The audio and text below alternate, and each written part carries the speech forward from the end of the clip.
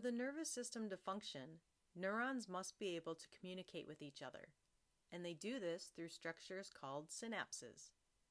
At the synapse, the terminal of a presynaptic cell comes into close contact with the cell membrane of a postsynaptic neuron. There are two types of synapses electrical and chemical. Electrical synapses are a direct connection between two neurons. Cell membrane proteins called connexons form gap junctions between the neurons. The gap junctions form pores that allow ions to flow between neurons. So, as an action potential propagates in the presynaptic neuron, the influx of sodium can move directly into the postsynaptic neuron and depolarize the cell. The response in the postsynaptic cell is almost immediate, with little to no delay between signaling in the pre and postsynaptic neurons. Since the gap junctions allow diffusion of ions without any obstruction, the signal can flow bidirectionally through an electrical synapse. The electrochemical gradients will drive direction of ion flow.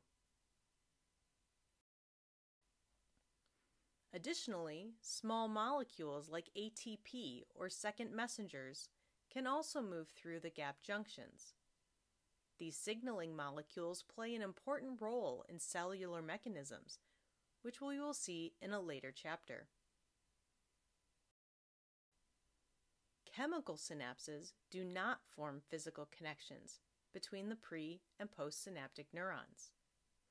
Instead, a space called the synaptic cleft exists between the presynaptic terminal and the postsynaptic membrane. Neurotransmitters are stored in the presynaptic cell, and the postsynaptic cell has neurotransmitter receptors in the membrane. At a chemical synapse, the depolarization of an action potential reaching the presynaptic terminal causes release of neurotransmitters, which act on specialized receptors located in the cell membrane of the postsynaptic neuron.